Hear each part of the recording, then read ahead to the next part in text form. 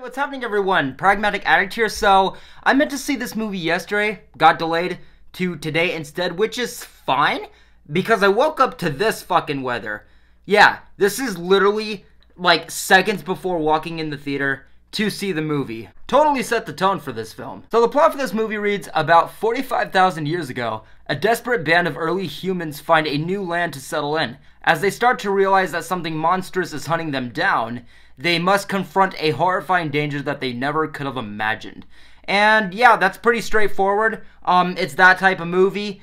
It is 87 minutes long. Let's fucking go. So right off the bat, what I want to say is that as far as like tones go, which this film was really, this was like a big thing for me, like when I first saw this trailer, because I do things for like every month. I try and like plan out like which reviews I'm gonna do, and I saw this one listed there, Out of Darkness, horror film, and I was like, I'm definitely gonna see Lisa Frankenstein that weekend, and then I saw the trailer in the theater, and I was like, oh yeah, for an atmospheric period horror film, I'm fucking there. And what I'll say is that yeah, that going into this film, it fucking crushes it. The opening instrumental, just like the film as horror cinema, being the ominous cinematography as well as just like being a period piece. The first shot of this film, just hearing like the fire crackling like from the speakers all around the auditorium, just like in that dark firelit scene, it sets the mood. Yes, as a period uh horror indie film, from like what I wanted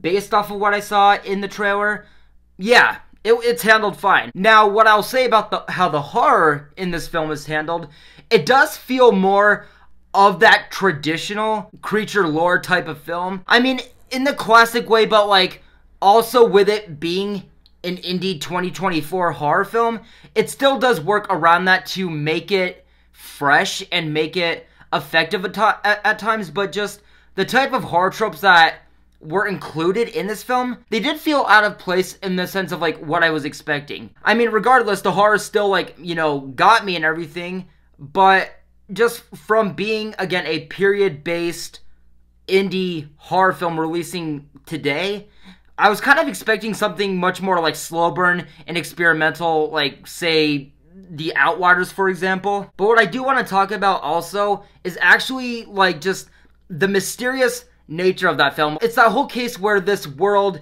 feels very ominous and mysterious and just basically foreign. The movie does very well with leaning into that. There's a lot of themes surrounding like fear and like, being hunted and just being cautious. And it feels very connected and like personal to this world. So things felt very like uh various and mysterious and like as a lore based period horror film it just really worked for me. And I thought it was a really impressive and interesting like way that they that the film did things as far as like pacing wise because this is a film that it has that traveling approach. These people are always on the move, always planning their next move, and if they're not moving, they're like, you know, settling down for a night, you know, around a fire, just keeping watch because again, they're being pretty much hunted as they're trying to you know, travel and find new land. And that was really fun on top of everything as well because, you know, it did really well just as like a setting. It did really well with like, you know, causing theories, speculating meaning,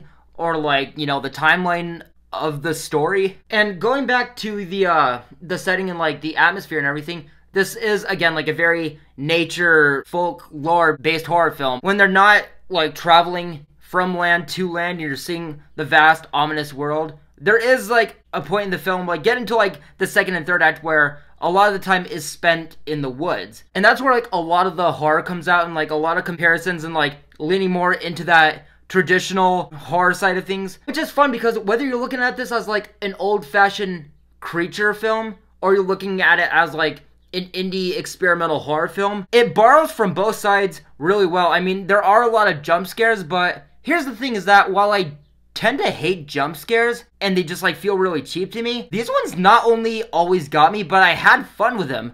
Because again, it's all the mystery in this film. And with a title like Out of Darkness, and like setting being a huge part of this film and these people just traveling and just being in the world while they're being hunted there is a lot of darkness in this film like literally.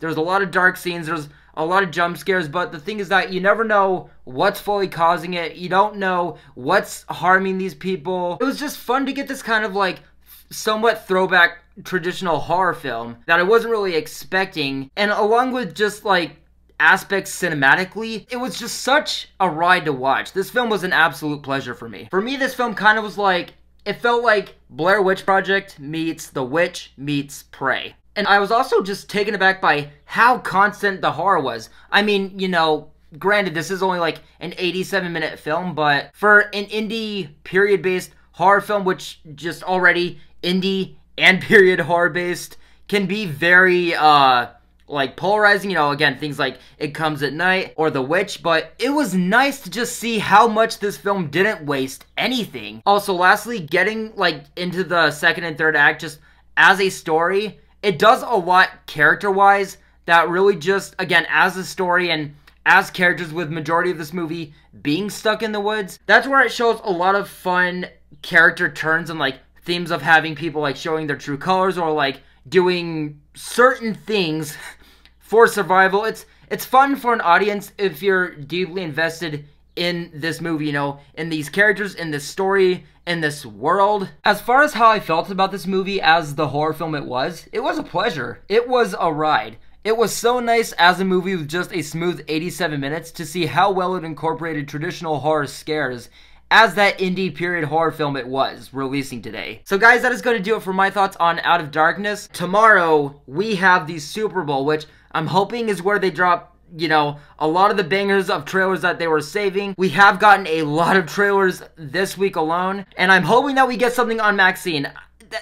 It doesn't seem like that would happen, like, oh yeah, the Super Bowl, let's drop the third final installment in the X franchise from Ti West. It just, I mean, don't get me wrong, I want that trailer. One of my most anticipated movies ever. But, I mean, all I'm saying is that there's going to be more trailers coming. I hope that's one of them, but, you know, we'll just see what we get tomorrow. But thank you guys, as always, for watching. This has been my review of Out of Darkness, and I'll see you in the next one. Take care.